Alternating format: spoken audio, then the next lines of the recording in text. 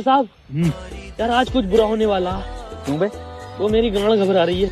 A few moments later. अंदर घुस। घुस गया। अबे अभी तो बाहर ही है। इसका घुस गया। अबे अभी तो बाहर ही है। इसका घुस गया।